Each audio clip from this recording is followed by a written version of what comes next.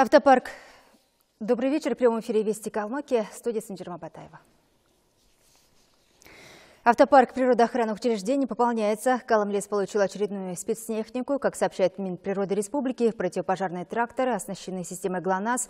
Напомню, чуть ранее в распоряжение лесоводов поступили 8 единиц. В этот раз закупили еще столько же.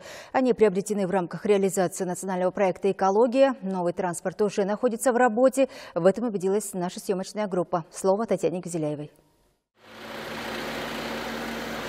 В интервью трактористы признаются, что испытывают только радость, ведь новая техника есть новая. На старой с затопленными плоскорезами приходилось выполнять одну и ту же работу дважды. И совсем иное дело навесные дисковые бороны. Сэкономишь не только время, но и топливо. А на старом было, день работаешь, неделю ремонтируешь.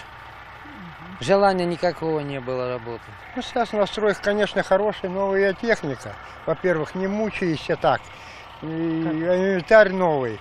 По словам мастера Джангра Карсункаева, новые тракторы с навесным оборудованием бороздят поля еще на двух участках Элисенского лесничества. Там тоже ведутся механизированные работы по уборке сорняков. И тоже значительно быстрее. С приходом новой техники уже работы более-менее сдвинулись, так э, больше объемов стали выполнять. Нагнетаем, нагнетаем все это. Впереди еще более масштабные работы. Калмыкии предстоит восстановить лесные насаждения на площади чуть более тысячи гектаров только в этом году. Весной высадили сеянцев на 300 гектаров и совсем скоро приступит к подготовке почвы под осеннюю посадку.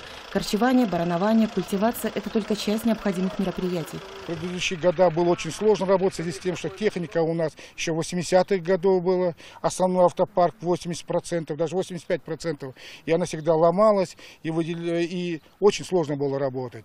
Но благодаря этой программе мы сейчас э, должны не то что обязаны выполнять это все в качественный срок. А приобретение новой специализированной техники и оборудования позволит решить эти задачи в намеченные сроки. Такое стало возможным благодаря участию Калмыкии в нас проекте «Экология». В его рамках по программе сохранения лесов было направлено более 24 миллионов рублей, на которые был обновлен автопарк. Кроме техники для восстановления леса было приобретено два малых лесопатрульных комплекса. Они тоже востребованы и уже продемонстрировали технические возможности на тушении пожаров, имевших место на сопредельных территориях когда степь начинает гореть, и большая пламя, и идет, и мы, они подходят к нашему лесфонду, и мы стараемся уже огонь встретить э, заранее. Совместно с МЧС мы тушим степные пожары. Нас проектом «Экология» предусмотрено воспроизводство лесных насаждений в Калмыкии в течение пяти лет. На эти цели будет выделено не менее 130 миллионов рублей. Татьяна Безеляева, Валентина Чучеева, Артем Горяев. Вести Калмыкия.